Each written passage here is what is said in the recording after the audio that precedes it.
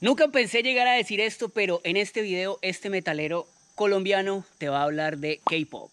Si es la primera vez que ves uno de nuestros videos, yo soy Lina. Yo soy Andrés. Somos un par de viajeros colombianos de Palmira Valle que desde hace 7 años está recorriendo el mundo. Hoy estamos en Tailandia y si te quedas hasta el final de este video, te vamos a explicar este fenómeno del el K-pop que se ha tomado la política y las marchas contra el gobierno en Colombia. Acompáñennos.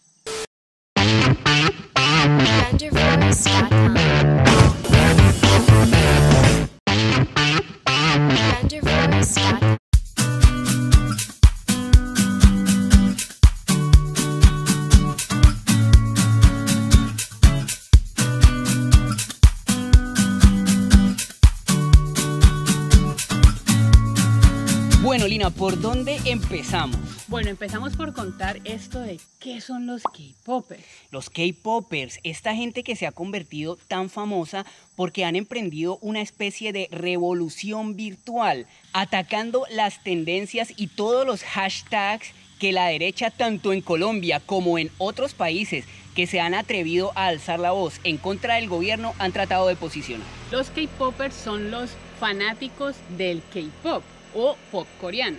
Entonces ellos son los que siguen a estos artistas y grupos musicales que están tan en tendencia mundialmente como BTS, Blackpink, EXO, GOT7, en fin. ¿Cómo sabe, ah? Los K-popers están organizados en K-fandoms, que son los clubes de fanáticos de estos grupos famosos y cada uno tiene un nombre. Por ejemplo, el de BTS es ARMY. Army en español traduce ejército. ¡Ajúa! Y este ARMY es uno de los fandoms más poderosos que hay en este momento en el mundo. La cosa es que tienen un poder gigantesco, gigantesco.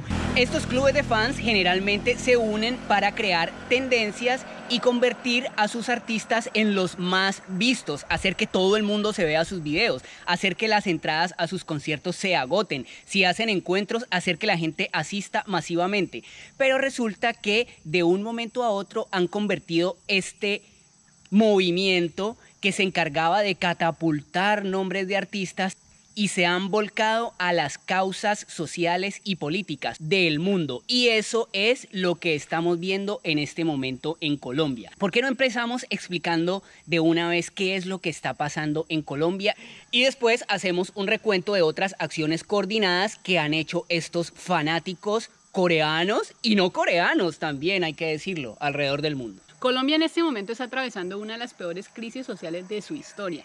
Hay protestas en todo el país y la policía del ejército está matando manifestantes en todo el país. Entonces, grupos políticos de ultraderecha tratan de posicionar hashtags en Twitter, en Instagram y demás redes sociales para justificar el accional criminal de las fuerzas del Estado que están disparando en contra de manifestaciones legítimas.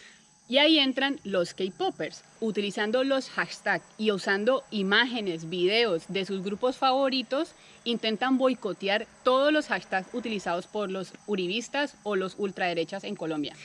Entonces, por ejemplo, traten en este momento o después de que terminen de ver este video de ingresar a alguno de estos hashtags para que vean más o menos cómo es el accionar de estos grupos de activistas virtuales. Yo apoyo al SMAD. La voz de Uribe somos todos. Uribe tiene la razón. Militarizar las calles ya. Lo que van a encontrar cada vez que entren a cada uno de estos hashtags son jovencitos cantantes coreanos pertenecientes a este tipo de grupos de K-pop que son conocidos allá como idols. La estrategia que utilizan es publicar contenidos conocidos como fancams. ¿Sí? Sí, exactamente. Exacto, Eh. fancams. Estos fancams no son otra cosa que GIF, O imágenes Sí. o videos de estos personajes haciendo lo que más saben hacer. Es tanto el poder que tiene esta comunidad que entre julio del 2019 y junio del 2020 publicaron más de 6 mil millones de tweets, convirtiendo el K-pop en el género musical más tuiteado del mundo. Y además de Colombia, esta comunidad ha actuado en diferentes países del mundo y han generado una fuerza política muy importante. Claro, ellos intervienen cuando hay causas sociales que reivindicar. El primer accionar que ellos adelantaron como comunidad y como grupo fue durante el movimiento Black Lives Matters que estaba protestando en Estados Unidos en plena pandemia el año pasado a causa del asesinato de George Floyd. Adivinen por quién. Obviamente, a causa de la policía. Incluso también lo que hicieron fue boicotear una de las aplicaciones que estaba utilizando la policía en Dallas para que la gente supuestamente denunciara abusos de los manifestantes sobre la policía. Wow, eso fue increíble. La policía diseña una aplicación supuestamente para que los marchantes denuncien es como algo contra la manifestación. Y llegan los K-poperos, los K-popers, y cogen esa aplicación y la invadieron, la bloquearon con contenidos de los chicos haciendo así. y lo más impresionante de todo fue que boicotearon al presidente Trump. Esa sí que estuvo increíble. Donald Trump realizó un meeting en campaña en Oklahoma. Entonces resulta que abren una convocatoria para reservar las entradas online. Los K-Poppers lo que hicieron fue que reservaron masivamente cerca de un millón de entradas en menos de 24 horas.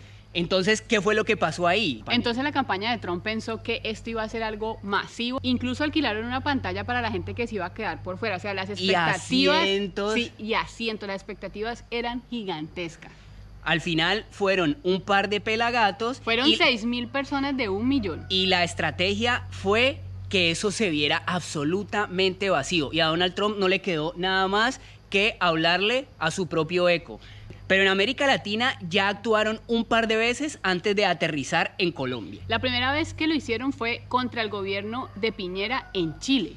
De la misma forma que estaban haciendo en este momento en Colombia, se trataron de posicionar tendencias, hashtags para legitimar la protesta que estaba buscando el cambio de la constitución del dictador Pinochet por una nueva.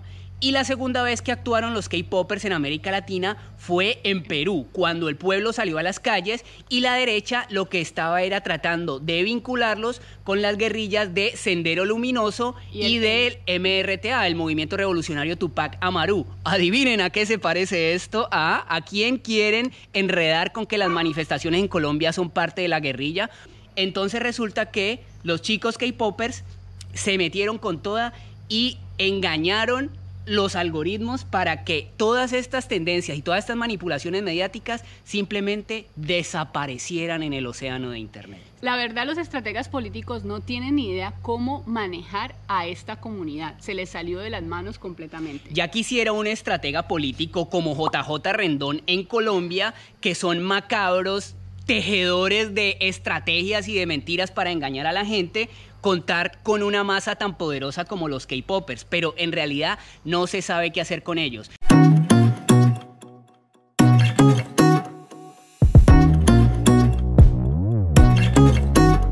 Como las luchas por estos cambios sociales también se libran en las redes, pues no importa si a uno le gusta o no este tipo de música, por lo menos a mí no me gusta ni cinco. Sin embargo, hay que agradecer que una comunidad tan sólida y tan global reivindique las causas de un pueblo que está luchando por sus derechos. De tal manera que en nombre de Renunciamos y Viajamos y del pueblo colombiano, gracias, gracias señores K-Poppers por echarnos una manito en este cambio y por desvirtuar todas las mentiras que los que ostentan el poder y los que están matando a la gente en las calles tratan de meterle a la gente. Recuerda suscribirte a nuestro canal de YouTube, darle clic a la campanita para que no te pierdas ningún nuevo video. Este es un canal de viajes, pero dado el momento histórico que está viviendo nuestro país, pues no nos queda otra que hacer pedagogía desde lejos. De manera que desde aquí, desde Tailandia, desde la selva tailandesa, les decimos hasta la próxima. No sin antes agradecer a todos los que están luchando en las calles para que cuando nosotros volvamos encontremos un país mejor. Y si cuando regresemos la lucha sigue, allá nos van a ver en las calles. Amigos, gracias, por favor, cuídense, muchísimo, porque Colombia los necesita vivos. vivos. Contamos con ustedes para seguir luchando. Chao, hasta la próxima. Chao. El primer accionar que ellos adelantaron como comunidad y como grupo consolidado fue en Estados Unidos en el Black Life Master.